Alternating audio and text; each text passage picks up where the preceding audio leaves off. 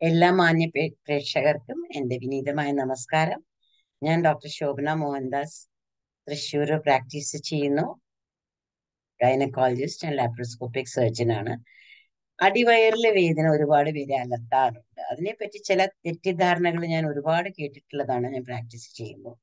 അപ്പൊ അതിനെക്കുറിച്ച് ചില കാര്യങ്ങൾ പറയാനാണ് ഞാൻ ഉദ്ദേശിക്കുന്നത്. എല്ലാതൊന്നും ഈ ഒരു ചെറിയൊരു ടോക്കിൽ ഇൻക്ലൂഡ് ചെയ്യാൻ പറ്റില്ല. പക്ഷെ പറ്റുന്നത്ര കാര്യങ്ങൾ പലരുടെ തെറ്റിദ്ധാരണകൾ ഒന്ന് മാറ്റണമെന്നുണ്ട്. പിന്നെ ചിലത് അറിയാത്തതും ഒന്ന് പറയാമെന്ന് വിചാരിച്ചു. അപ്പൊ ഞാൻ തൃശ്ശൂർ പ്രാക്ടീസ് ചെയ്യുന്നു അടിവയറ് വേദനയുടെ മെയിൻ കാരണം എന്റെ പ്രാക്ടീസിൽ ഞാൻ കണ്ടിരിക്കുന്നത് സാംക്രമിക രോഗങ്ങൾ അല്ലെങ്കിൽ ഇൻഫെക്ഷൻ അല്ലെങ്കിൽ നമ്മൾ മലയാളത്തിൽ പറയുമ്പോൾ പഴുപ്പാണ്. വേറൊരു കാര്യം എൻഡോമെട്രിയോസിസ് ആണ് അത് ചെറുപ്പക്കാരിൽ നല്ലോണം കാണുന്നതാണ് പിന്നെ ഓഫ്കോഴ്സ് ഫൈബ്രോയിഡ് ഓവറിയിൽ മുഴകൾ കുടലിൽ പ്രശ്നങ്ങൾ.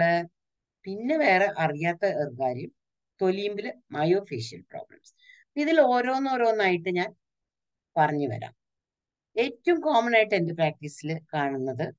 പെൽവിക് ഇൻഫെക്ഷൻ ആണ്. ഒരു കാര്യം നമുക്ക് മനസ്സിലാക്കണം. ഈ അടിവയറ് വേദന എപ്പോഴും സ്കാനിൽ കണ്ടുപിടിക്കാൻ പറ്റില്ല. എന്ത് കണ്ടുപിടിച്ചാൽ ഡോക്ടറോട് ഒറ്റ ചോദ്യമാണ് ഇതെന്താ സ്കാനിൽ കാണാത്തത് സ്കാനിൽ കാണാത്ത കാരണം അത് രോഗമല്ല. നിങ്ങൾ കൈകൊണ്ട് തൊട്ടിട്ട് അങ്ങോട്ട് ഈ രോഗം പറഞ്ഞാൽ എങ്ങനെയാ? ഇത് ഒരു കാര്യം നമുക്ക് മനസ്സിലാക്കേണ്ടത്. അടിവയറുവേദന എല്ലപ്പോഴും സ്കാനിൽ കൊണ്ട് കണ്ടുപിടിക്കുന്ന ഒരു രോഗമല്ല. ഇതിന്റെ മെയിൻ കാരണങ്ങൾ ഞാൻ പറഞ്ഞില്ലേ? ഈ പഴുപ്പ് വരുന്നത് യൂട്രസിന്റെ ഉള്ളിൽ എൻഡോമെട്രൈറ്റിസ് കാരണമാവാം യൂട്രസിന്റെ രണ്ട് സൈഡിലുള്ള ട്യൂബുകളിൽ ഇൻഫെക്ഷൻ കാരണമായിരിക്കാം ഈ ട്യൂബിന്റെ ഓവറിയുടെയും കോംപ്ലക്സിൽ ഇൻഫെക്ഷൻ കാരണമായിരിക്കാം. നാല് പുറം കിടക്കുന്ന പെരിറ്റോണിയത്തിൽ ഇൻഫെക്ഷൻ കാരണമായിരിക്കാം. ഇവിടെയൊക്കെ ഇൻഫെക്ഷൻ വന്നു കഴിഞ്ഞാൽ പഴുപ്പ് നമുക്ക് നല്ല വേദന ഉണ്ടാക്കും. പലപ്പോഴും അത് ഗ്യാസ് ആണെന്ന് വിചാരിക്കും. അത് വയറുവേദന ബാക്ക് പെയിൻ വജൈനൽ ഡിസ് ഏറ്റവും അധികം വേദനയാണെങ്കിലും അമ്പത്തെട്ട് ശതമാനത്തിൽ ബാക്ക് പെയിൻ ഉണ്ടാക്കും. അമ്പത്തിരണ്ട് ശതമാനത്തിൽ യോനി കൂടെ വെള്ളം പോകുന്നതായിരിക്കും. ചെറിയ പനി നാൽപ്പത്തെട്ട് ശതമാനത്തിൽ ഉണ്ടാവാം. ക്ഷീണം മുപ്പത്തെട്ട് ശതമാനത്തിൽ ബന്ധപ്പെടുമ്പോഴുള്ള വേദന ഇരുപത്തിരണ്ട് ശതമാനത്തിൽ പന്ത്രണ്ട് ശതമാനത്തിൽ അത് വന്ധ്യതയെ ഉണ്ടാക്കാം പലപ്പോഴും ഇത് ഗ്യാസ് ആണെന്ന് പറഞ്ഞിട്ടാണ് പേഷ്യന്റ് വരുന്നത്. ഡോക്ടർ എനിക്കൊരു ഗ്യാസ് ഉണ്ട് ഗ്യാസ് ഉണ്ട് അത് മാറണില്ല. ഗ്യാസിന്റെ മരുന്ന് കഴിച്ചിട്ട് ഗ്യാസ് മാറണില്ല. അല്ലെങ്കിൽ വേറെ ചിലർ എനിക്ക് യൂറിനൽ ഇൻഫെക്ഷൻ ആയിരുന്നു എന്നും പറഞ്ഞിട്ട് വരും. ഇത് രണ്ടും പെൽവിസ് ഇൻഫെക്ഷനിലാണെങ്കിൽ ഇത് രണ്ടും തെറ്റാണ്. പെൽവിസ് എന്ന് പറഞ്ഞാൽ ഈ ഭാഗമാണ്. അല്ലാതെ മൂത്രക്കുഴലല്ല. അപ്പൊ എവിടെ വേദന വന്നാലും എല്ലതും മൂത്രത്തിൽ പഴുപ്പല്ല. അതേപോലെ എല്ലതും ഗ്യാസും അല്ല. അപ്പൊ ഇത് പെൽവിക് ഇൻഫെക്ഷൻ ആണോ എന്ന് ഡോക്ടർക്ക് കണ്ടുപിടിക്കുന്നത് വേണം അപ്പൊ പെൽവിസിന്റെ അടുത്ത് അതായത് യൂട്രസിന്റെ അടുത്ത് പഴുപ്പുണ്ടെന്ന് പറയുമ്പോഴേക്കും പേഷ്യന്റിന് ഒരൊറ്റ പേടിയാണ് അയ്യോ എനിക്ക് എങ്ങനെയാ ഇത് വന്നത്? ഞാൻ നല്ല വൃത്തിയിലിരിക്കുന്ന ആളാണല്ലോ. ഇത് സീരിയസ് ആണോ? അത് അടുത്ത ചോദ്യം. എന്റെ യൂട്രസ് എടുത്ത് കളയോ? യൂട്രസിന് എന്ത് വന്നാലും എടുത്ത് കളയുന്ന ഒരു തോന്നലാണ്. ഞാൻ അടുത്ത ചോദ്യം എനിക്ക് കുട്ടികൾ ഉണ്ടാവാതിരിക്കോ ഇങ്ങനെ അകത്ത് എന്ത് വന്നാലും പേടിക്കുകയാണ്. നമുക്ക് ചുമയോ പനിയോ വന്നാൽ നമുക്കത് മരുന്ന് കഴിച്ചാൽ മാറിയില്ലേ? കാലിൽ കുരു വന്നാൽ മരുന്ന് കഴിച്ചാൽ മാറില്ലേ പിന്നെ എന്താ യൂട്രസിന്റെ അടുത്ത് പഴുപ്പ് വരുമ്പോഴേക്കും ഇത്രയ്ക്ക് പേടിക്കണത് എനിക്ക് അറിഞ്ഞൂട പക്ഷെ ഇത് എല്ലാവർക്കും ഉള്ളൊരു പേടിയാണ്. പിന്നെ അടുത്ത ചോദ്യം എനിക്ക് എന്താ ഡോക്ടറെ വന്നു? ഇത് എന്തുകൊണ്ട് വന്നു? മരുന്ന് കഴിച്ചാൽ മാറുന്നൊക്കെ സത്യമാണ്. പക്ഷെ എന്തുകൊണ്ട് വന്നു? ഇത് യൂട്രസിന്റെ വായയുടെ അവിടെ എന്തെങ്കിലും ഒരു പഴുപ്പ് വരുമ്പോൾ അത് കേറി കേറിയിട്ട് എല്ലാ ഭാഗത്തേക്കും വരുന്നതാണ്. അപ്പൊ അവിടെ ഓൾറെഡി കുറച്ച് പഴുപ്പുകൾ ഉണ്ടാവും. പക്ഷെ അതിനെ ചെറുത്ത് നിൽക്കാൻ നമ്മുടെ ശരീരത്തിന്റെ ബാക്ടീരിയക്ക് കഴിയും. അതിന് കഴിയാണ്ട് വരുമ്പോഴാണ് പൊട്ട ബാക്ടീരിയ വളർന്നിട്ട് എല്ലാ സ്ഥലത്തേക്കും എത്തുന്നത്. അപ്പൊ അത് എന്തുകൊണ്ട് എനിക്ക് വന്നു എന്ന് ചോദിച്ചു കഴിഞ്ഞാൽ അതിന് ശരിക്കൊരു ഉത്തരമില്ല. ഈ നെറ്റിൽ പലതും വരും. നമുക്ക് ജനറ്റിക് ആയിട്ട് എന്ന് അസുഖം വരുന്ന ഒരു പ്രവണതയുണ്ട്.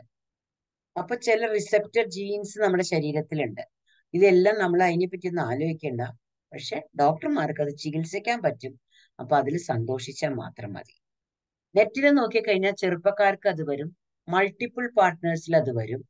സ്മോക്കിംഗ് വരുത്തും. കള്ളു കുടിക്കുന്നവർക്ക് വരുത്തും. ഇതെല്ലാം വായിച്ചു കഴിഞ്ഞാൽ ഭർത്താക്കന്മാരെന്താ വിചാരിക്കുക? എന്റെ ഭാര്യയ്ക്ക് അത് വന്നിട്ടുണ്ടെങ്കിൽ ഇവർ വേറെ ആരുടെങ്കിലും കൂടെ പോകുന്നുണ്ടോ? കള്ളു കുടിക്കുന്നുണ്ടോ? സ്മോക്ക് ചെയ്യുന്നുണ്ടോ? ഇന്ത്യയിൽ ഇതൊന്നും ചെയ്യാത്ത എത്രയോ പെണ്ണുങ്ങൾക്ക് പെൽവിക് ഇൻഫെക്ഷൻ കണ്ടിട്ടുണ്ട്. എല്ലാ ഗൈനക്കോളജിസ്റ്റ് ഇതെല്ലാം കണ്ടിട്ടുണ്ട്. അപ്പൊ നെറ്റിൽ എല്ലാ സ്ഥലത്തും ഇട്ടിരിക്കുന്ന ഈ കാര്യങ്ങളും മുഴുവൻ കോപ്പി അടിച്ച് കോപ്പി അടിച്ച് കോപ്പി അടിച്ച് കൊണ്ടേ ഇരുന്നു കഴിഞ്ഞാൽ അത് സത്യാവസ്ഥയാവില്ല എന്ന് എല്ലാ പ്രാക്ടീസിങ് ഗൈനക്കോളജിസ്റ്റിനും അറിയാം. ഒരേ ഒരു ഭർത്താവ് മാത്രം ഉണ്ടെങ്കിലും ഈ രോഗം വരാം. അത് ശരിയാണ്. ബന്ധപ്പെടുന്നതിൽ നിന്ന് വരുന്നതാണ്. ട്രീറ്റ് ചെയ്യുമ്പോൾ രണ്ടുപേരും ചികിത്സിച്ചാൽ നല്ലതുമാണ്. പക്ഷെ അത് വിചാരിച്ചിട്ട് മൾട്ടിപ്പിൾ പാർട്ട്നേഴ്സിന് മാത്രമേ പെൽവിക് ഇൻഫെക്ഷൻ വരൂ എന്ന് പുസ്തകത്തിൽ എഴുതിയിട്ടുള്ളത്. എനിക്ക് ഒരിക്കലും യോജിക്കാൻ പറ്റില്ല. അത് മിക്ക ഗൈനക്കോളജിസ്റ്റിനും യോജിക്കാൻ പറ്റില്ല. അത് കാരണം പാർട്ട്ണറെ ചികിത്സിക്കുന്നത് അത്യാവശ്യമാണ്. Multiple sex partners is not mandatory for pelvic infection കുട്ടിക്കാലത്ത് ഏത് നേരം മൂത്രത്തിൽ പഴുപ്പുണ്ടെങ്കിൽ അത് വരും. വീട്ടിൽ മൂത്രത്തിൽ പഴുപ്പ് എല്ലാവർക്കും ഉണ്ടാവുണ്ടെങ്കിൽ അത് വരും. അതേപോലെ ചില ആൾക്കാരുടെ യോനിയിൽ ഈ ടി എൻ എഫ് സെൽസ് ഒക്കെ ഉണ്ടാവും. അവർ അതിൽ ഈ അണുക്കളെ പിടിക്കാനുള്ള പറ്റിയ സെൽസ് ഉണ്ടാവും കണ്ടോ? ഈ നീല നിറത്തിലൊക്കെ കാണുന്നത്. അത് ഉള്ള ആൾക്കാരാണെങ്കിൽ അവർക്ക് പഴുപ്പ് വേഗം വരും. അതേപോലെ ചിലവർക്ക് ഇങ്ങനത്തെ സ്വിങ്കോലിപ്പിൻസ് എന്ന് പറഞ്ഞ ഈ ഫാറ്റ് സെൽസ് ഉണ്ടാവും. ഇത് ഇതുള്ള ആൾക്കാരാണെങ്കിൽ അവർക്ക് പഴുപ്പ് വേഗം കയറിക്കൊള്ളും അത് ജന്മന ഉള്ളതാണ്. അല്ലാണ്ട് നിങ്ങൾ നാലാൾക്കാരുടെ അടുത്ത് പോയിട്ടുണ്ടാവണതൊന്നും അല്ല. നമ്മുടെ വൃത്തിയില്ലാതിരുന്നിട്ടൊന്നും അല്ല. നമ്മൾ മൂത്രം ഒഴിക്കാതിരുന്നിട്ടും അല്ല. മൂത്രത്തിൽ പഴുപ്പ് ഇപ്പോഴും വരികയാണെങ്കിൽ അതിൽ നിന്ന് നാല് പുറം വരാം. പക്ഷെ മൂത്രത്തിൽ പഴുപ്പില്ലാതെ വെറും യൂട്രസിൽ വരുന്ന പഴുപ്പ് വെള്ളം കുടിക്കാണ്ട് വരുന്നതാണ്. വരുന്നതല്ല. യെസ് വേറെ കാര്യങ്ങളുണ്ട്. നമുക്ക് അസുഖം വരാൻ നമ്മൾ ടോയ്ലറ്റിൽ പോയി കഴിഞ്ഞാൽ ഒരിക്കലും പിന്നിൽ നിന്ന് മുന്നിലേക്ക് ഒന്നും ചെയ്യരുത്. അതേപോലെ നമ്മൾ ഇന്റർകോഴ്സിന്റെ സമയത്ത് പിന്നിൽ നിന്ന് മുന്നിലേക്കുള്ള മൂവ്മെന്റ്സ് കുറയ്ക്കണം. എന്താ വെച്ചാൽ അവിടെ ഏനസ് ഉണ്ട്. കഴുകുമ്പോഴും മുന്നിൽ നിന്ന് പിന്നിലേക്കുള്ളത് വേണം. സെക്സ് കഴിഞ്ഞാൽ മൂത്രം ഒഴിച്ചു കളയുന്നത് നല്ലതാണ്. ഒരുപാട് നേരം മൂത്രം പിടിച്ചു നിൽക്കരുത് വെള്ളം ധാരാളം കുടിക്കണം. ഇനി മിണ്ടുമ്പോ മിണ്ടുമ്പോ ആന്റിബയോട്ടിക് എടുത്ത് കഴിച്ചു കഴിഞ്ഞാൽ നമുക്ക് ഒരസുഖം ഒരു മരുന്നും കഴിച്ചാൽ രോഗം മാറാത്തൊരവസ്ഥയിലേക്ക് നമ്മൾ എത്തും അപ്പൊ നമ്മൾ പിടിച്ചു പിടിച്ചിട്ട് വേണം ആന്റിബയോട്ടിക് കഴിക്കാൻ. അപ്പോ സ്കാനിൽ ഒന്നും കണ്ടില്ലെങ്കിലും അടിവയറിലോ പെൽവിസിലോ വേദന വന്നു കഴിഞ്ഞാൽ അല്ലെങ്കിൽ ഡോക്ടർ നോക്കുമ്പോൾ അവിടെ വേദന കണ്ടു കഴിഞ്ഞാൽ ചികിത്സ തുടങ്ങുന്നതായിരിക്കും അഭികാമ്യം. എല്ലാറ്റിനും സ്കാൻ റിപ്പോർട്ട് വേണമെന്ന് പറഞ്ഞിരിക്കാതെ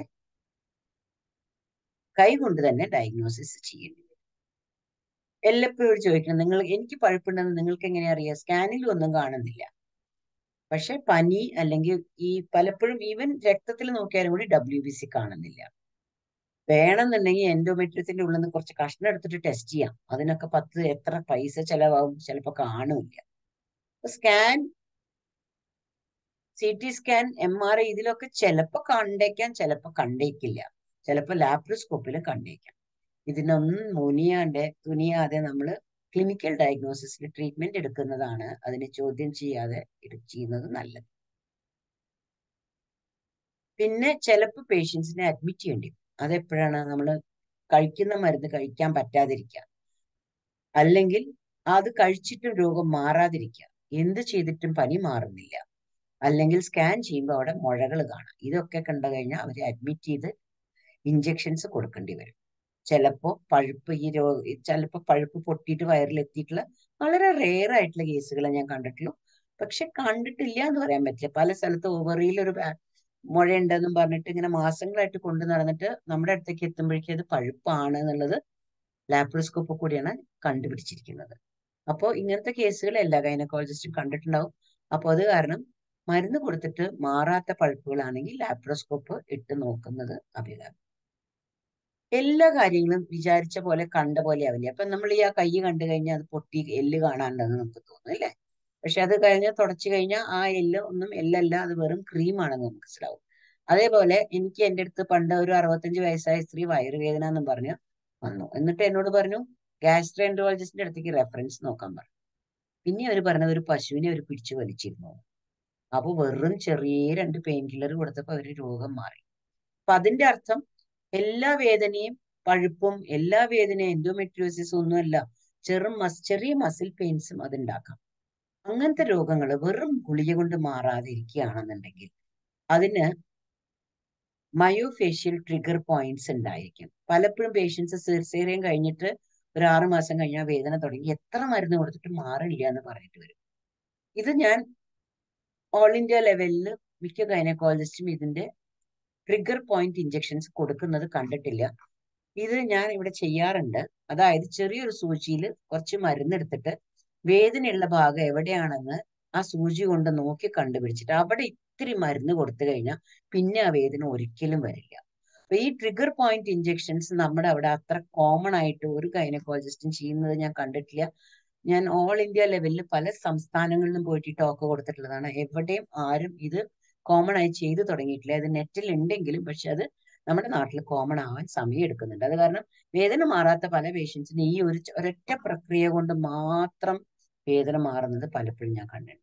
ഇൻഫെക്ഷൻ കഴിഞ്ഞിട്ട് അവിടെയൊക്കെ പൊട്ടലുണ്ടായി കഴിഞ്ഞാൽ മുഴുവൻ മാറ്റാനായിട്ട് ചെറിയൊരു ഇഞ്ചെക്ഷൻ കൊടുത്തു കഴിഞ്ഞാൽ അത് മാറാറുണ്ട്. ഇതിന് ട്രിഗർ പോയിന്റ് ഇഞ്ചെക്ഷൻസ് എന്നാണ് പറയുന്നത്. അപ്പൊ ഇത് എനിക്ക് വളരെ ഉപയോഗമായിട്ട് തോന്നി. ചിലപ്പോൾ ഇതെല്ലാം ചെയ്തിട്ട് മാറിയിട്ടില്ലെങ്കിൽ വയറിന്റെ ഉള്ളിൽ സ്കാനിൽ കാണാത്ത പല കാര്യങ്ങളും കണ്ടുപിടിക്കണമെങ്കിൽ ലാപ്രോസ്കോപ്പി തന്നെ പറ്റണം. ചിലപ്പോൾ ഈ യൂട്രസിന്റെ രണ്ട് സൈഡിലും രക്തക്കുഴലുകൾ ഇങ്ങനെ വീർത്ത് നീല നിറത്തിൽ നിൽക്കുന്നുണ്ടാവും അതിന് മരുന്ന് കൊടുത്താലേ അത് മാറണം. ഇങ്ങനത്തെ കേസുകൾക്ക് യൂട്രസ് എടുത്ത് കളഞ്ഞിട്ടും കൂടി കാര്യമില്ല. എന്താ വെച്ചാൽ യൂട്രസിന്റെ സൈഡിലാണ് നീല നിറം. അപ്പൊ അതിന് മരുന്നാണ് ട്രീറ്റ്മെന്റ് പല പേഷ്യൻസിനും വേദന വന്നു കഴിഞ്ഞാൽ ഡോക്ടർ എന്റെ യൂട്രസ് എടുത്ത് കളയുന്നു പറഞ്ഞു വരും. പക്ഷെ അത് പെൽവിക് വീനസ് കഞ്ചഷൻ ആണെങ്കിൽ യൂട്രസ് എടുത്താലും പിന്നെ ഒരു മരുന്ന് കഴിക്കേണ്ടി വരും. ഇത് റെയർ ആയിട്ടുള്ള കണ്ടീഷനാണ് പക്ഷെ ഇത് ഇങ്ങനത്തെ ഒരെണ്ണം ഉണ്ട്. പലപ്പോഴും എൻഡോമെട്രിയോസിസ് എന്ന് പറയുന്ന രോഗത്തിന് ഇങ്ങനെ വരും. അതായത് ചുവന്ന ചുവന്ന സ്പോട്സ് നാല് പുറം കാണുന്നു അങ്ങനത്തെ സ്പോട്സ് ഒരുപാട് ഉണ്ടെങ്കിൽ അത് കരിച്ചു കളഞ്ഞു കഴിഞ്ഞാൽ അത് അവിടെ കാണാനില്ല? ചുവന്ന ചുവന്ന നിറത്തിൽ കാണുന്നത്. ഇങ്ങനത്തെ സ്പോട്സ് കീറിക്കളയെ അത് എടുത്തു കളയുകയും ചെയ്താൽ മാത്രമേ അത് മാറുള്ളൂ എൻഡോമെട്രിയോസിസ് പലപ്പോഴും ഓവറിയിൽ മുഴകൾ ഉണ്ടാക്കുന്നതാണ്. പക്ഷെ ഓവറിയിൽ മുഴ ഉണ്ടാക്കാത്തതും സ്കാനിൽ കാണാത്തതുമായ എൻഡോമെട്രിയോസിസ് പല ചെറുപ്പക്കാരിലും നല്ല വേദന ഉണ്ടാക്കും. അത് ലാപ്രോസ്കോപ്പിൽ മാത്രമേ കാണാൻ പറ്റുള്ളൂ എന്താ വെച്ചാൽ സ്കാനിൽ എങ്ങനെയാ ആ ഭാഗം ചുമന്നതാണോ വെളുപ്പാണോ എന്ന് കാണാൻ പറ്റുക? അപ്പൊ ഇങ്ങനത്തെ കേസുകൾക്ക് ചെറിയൊരു വേദനയ്ക്ക് എന്തിനാ ലാപ്രോസ്കോപ്പി ചെയ്യണമെന്ന് പറഞ്ഞിട്ട് കാര്യമില്ല. അത് ലാപ്രോസ്കോപ്പിൽ മാത്രമേ ഈ ചുവന്ന പാട് കാണുള്ളൂ. അത് ഓപ്പറേറ്റ് ചെയ്താൽ ശരിയാവുന്നതാണ്. ഓപ്പറേറ്റ് ചെയ്യാന്ന് പറയാൻ പറ്റില്ല. ജസ്റ്റ് ഒന്ന് അത് കരിച്ചു കളയേ വേണ്ടു.